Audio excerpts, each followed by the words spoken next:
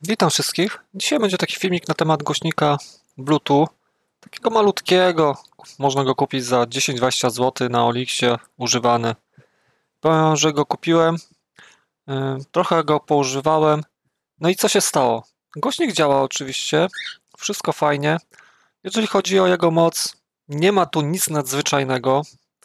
Pokażę Wam mniej więcej, co tam pisze od spodu na naklejce. 4 ohmy, 3 W, zasilanie 5V, 500 mA, model S07U. Yy, Powiem Wam tak, yy, akumulatorek w tym głośniczku już jest totalnie do wymiany.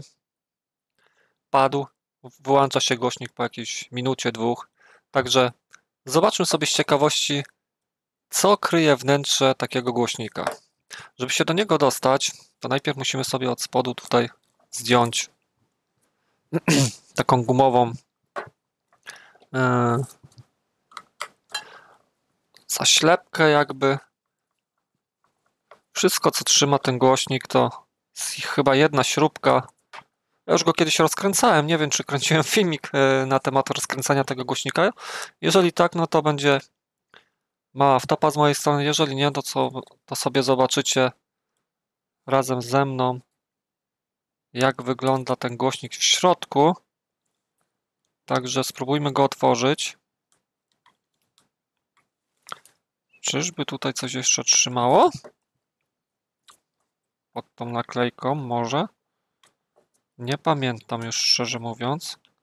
Ale chyba tutaj nie ma żadnej naklejki, bo, bo by mi się już tutaj... Znaczy śrubki. Mi się już tutaj zrobiła dziurka od nakłuwania. Nie pamiętam dokładnie jak go rozkręcałem.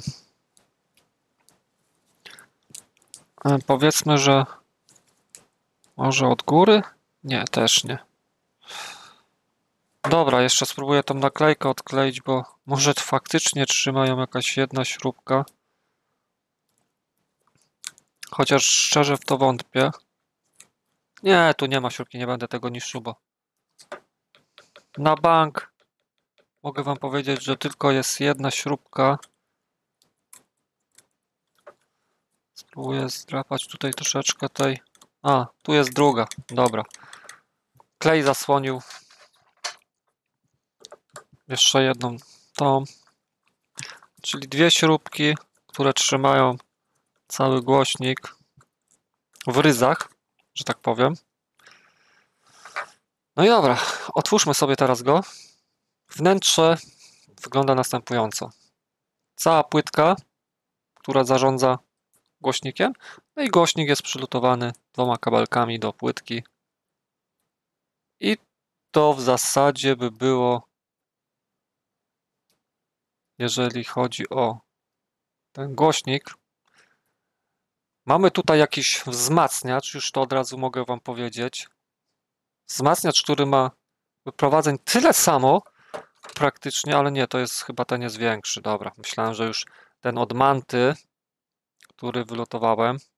Zobaczcie, to jest płytka manty z tym uszko uszkodzonym wzmacniaczem. Tyle, że tutaj ten wzmacniacz jest e, troszeczkę mniejszy niż ten. Szkoda, bo jakby był tej samej wielkości, to można by było dla eksperymentu na przykład wlutować taki wzmacniacz od takiego głośnika Bluetooth do tej manty i co by się stało, tak? Podejrzewam, że nie pasowałoby i tak.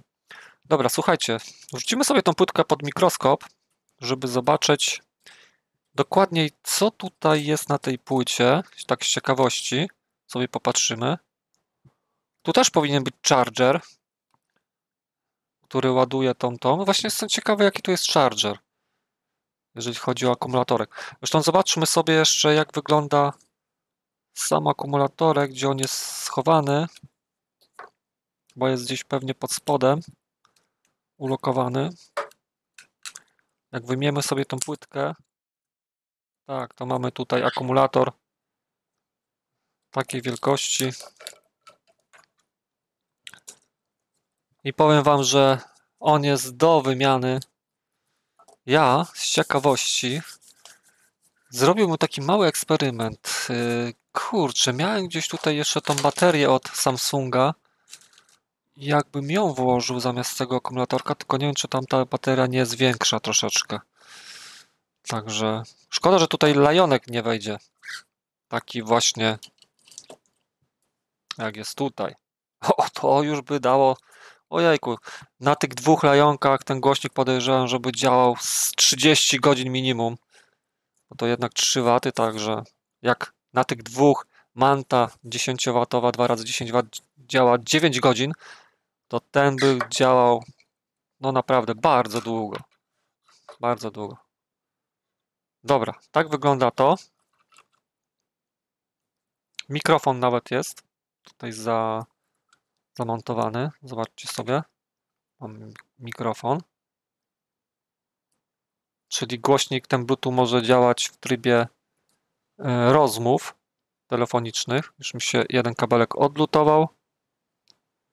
Także zobaczmy sobie mniej więcej. Czerwony jest po lewej, e, złoty po prawej. Czyli czerwony plus, złoty minus. Dobra. E, lecimy pod mikroskop. Ja sobie tylko przyszykuję mikroskop i zobaczymy, jak ta płytka wygląda pod mikroskopem. Co tam upchali Chińczycy do tego tego. W zasadzie muszę tylko podłączyć sobie ładowanie pod mikroskop. No i za chwileczkę się widzimy pod mikroskopem. Dobra, słuchajcie, e, zróbmy sobie małą rozkminę. Co ta płytka tutaj ma na pokładzie? Mamy tak o. Zacznijmy sobie od tego pierwszego tutaj po, lewie, po lewej stronie. L, chyba LTK 802D. Dobra, zróbmy tak.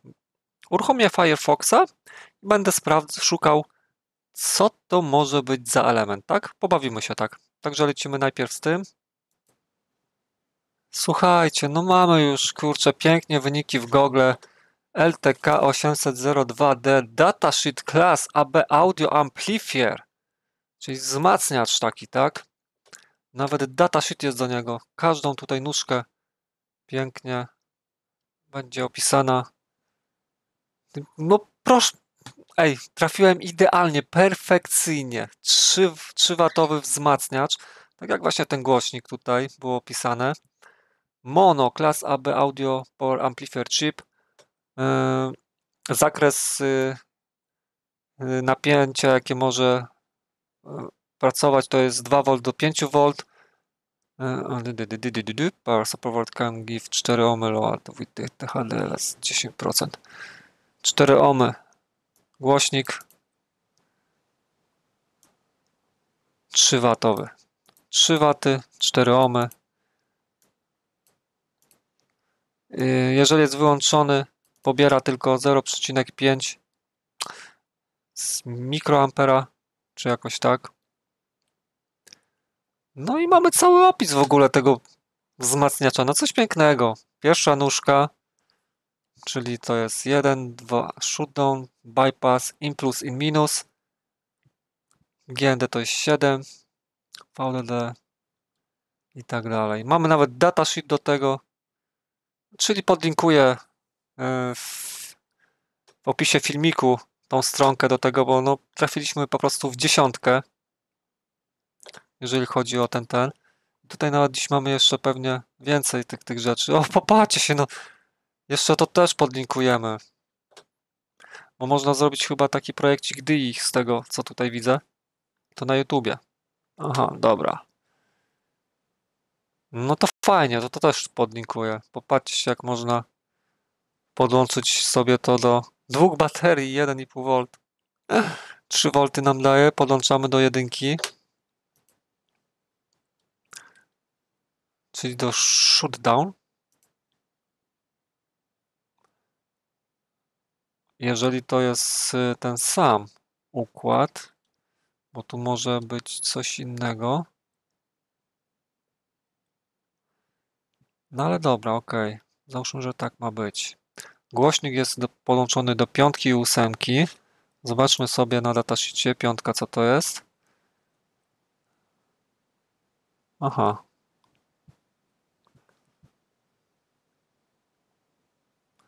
Coś chyba output, jedynka i dwójka.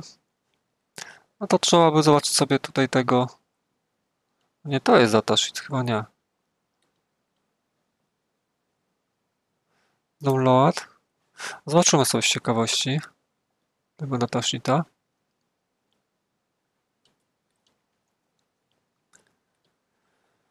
E, piątka i ósemka, tak? Tu będzie pewnie pin descriptor. No mamy cały schemat, no coś pięknego.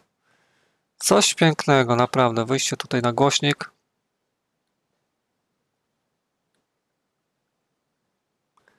Zakres temperatur. Ich może pracować to minus 65 do 150 stopni. Wow, nieźle. Piątka. Czyli mamy wyjście. Na głośnik właśnie. Coś po chińsku pisze. Przetłumaczmy sobie to z ciekawości.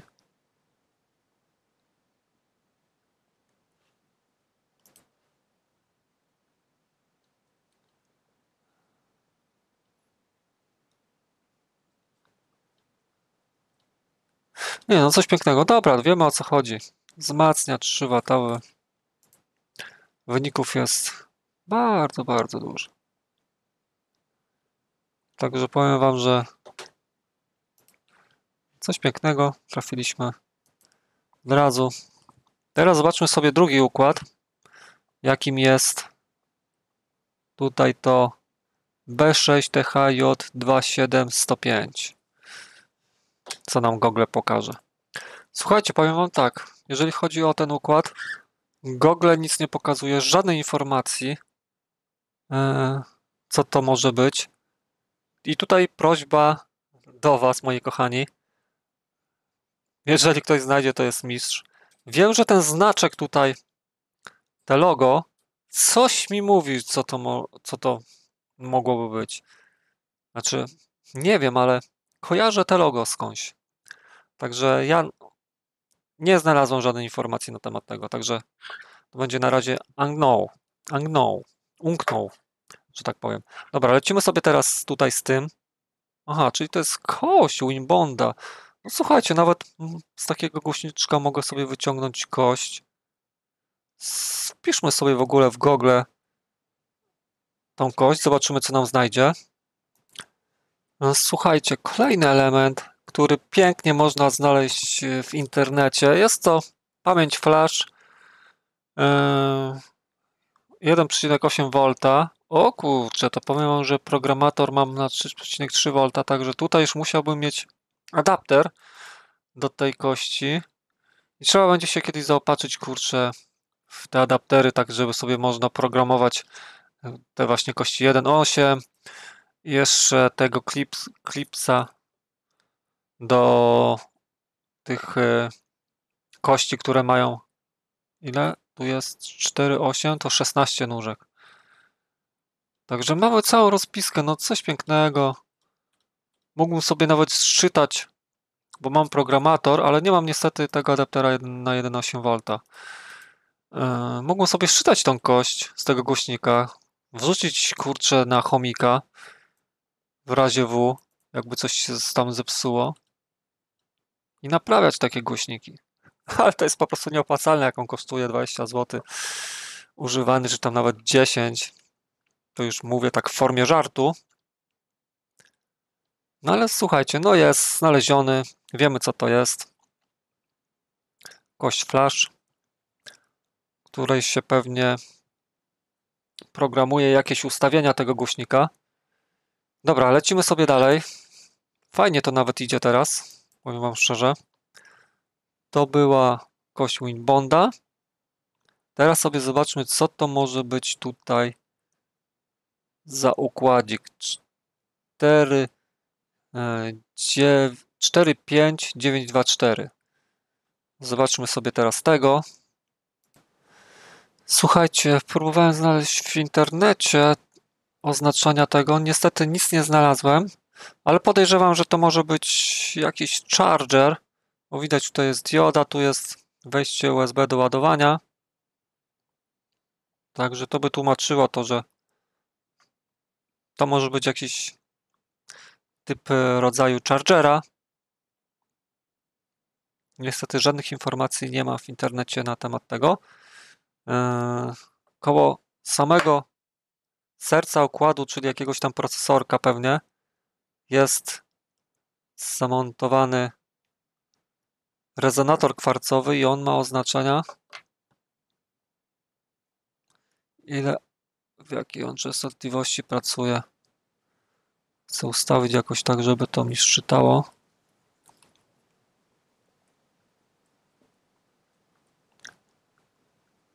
Kurczę, ciężko jest. 26 tysięcy. Coś takiego jest. No i sam układ tutaj. Kurczę, żeby się doczytać, to musiałbym go wyczyścić chyba.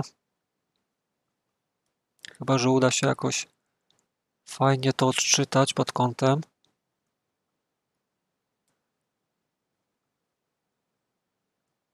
Nie, słuchajcie, ja go spróbuję wyczyścić. Tym celu wezmę sobie nawet na to, na papier, tak żeby go doczyścić bardziej. Jakbym się pobawił teraz oświetleniem, czy to coś da?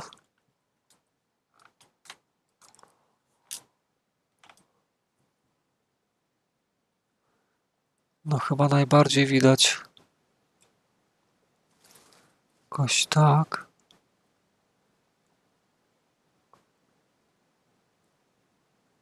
Bardzo ciężko jest odczytać. Dlatego wezmę sobie magiczne urządzenie, którym jest e, włókno szklane i pobawimy się teraz tym. Zobaczymy, czy uda się w jakimś tam stopniu to odsłonić. Widzę, że czeka mnie troszeczkę tutaj robótki. Mam nadzieję, że odsłonię w jakimś tam stopniu te napisy.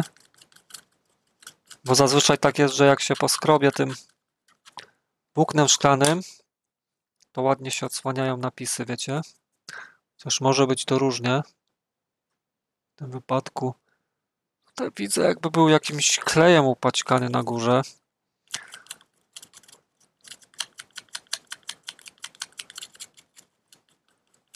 Tego postaram się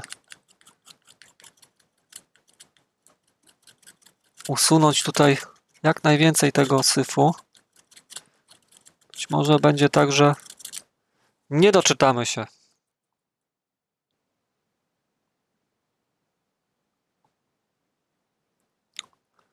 I wszystko na to wskazuje, moi drodzy. Słuchajcie, ja zrobię na chwilę pauzę, pobawię się z tym i jak uda mi się dojść do jakiejś tam, powiedzmy, przejrzystej formy, to Wam pokażę. Słuchajcie, no nie doczytamy się. Niestety. Lipa jest, jeżeli chodzi o tutaj te oznaczenia. Także nie wiem, jaki tu jest dokładnie układ. Ale to, to by było już chyba na tyle tutaj z ciekawych rzeczy na tej płytce. Aha, jeszcze jaka to jest dioda tutaj? M, M1? No dobra, już mi się głośnik urwał, fajnie. Nie muszę się męczyć. Tak, dioda jest jakaś M1. Spoko. Druga strona. Wspominałem ten e, mikrofon, dzięki któremu możemy prowadzić sobie rozmowy głośno mówiące. Slot na kartę pamięci wejście USB, drugie wejście USB, na słuchawki wyjście, Tu mamy przyciski, panel przycisków. Bateria plus i minus. No i sama bateria, oczywiście jakaś no name. Nie wiadomo nawet co to jest. Tak to wygląda, moi drodzy. Jeszcze diody Wam mogę tutaj pokazać ewentualnie no, z ciekawości. O, widzicie? Są różne kolory. Może świecić na niebiesko, czerwono, chyba zielono. Tak wyglądają te diody. Antena do radia, bo tutaj jest też radio. Trzeba o tym pamiętać. Podejrzewam, że to radio jest w tym procesorze e, zintegrowane.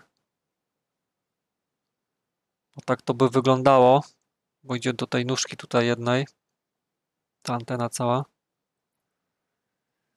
No i co? Nic, nic szczególnego, po prostu zwykła, najtańsza płytka od głośnika Bluetooth z AliExpressa czy tam skądś. Nie wiem, gdzie to było kupowane, ale wszystko i tak wiecie, że idzie z Chin. Dobra, to by było na tyle. Taka mała rozmina tego głośniczka. Niestety nie da się podłożyć pod tego, mm, pod tą płytkę żadnego wzmacniacza, e, jeżeli chodzi o ten głośnik manty. Także zakończmy na 21, na 21 minutach i 30 sekundach. To było na tyle. Trzymajta się.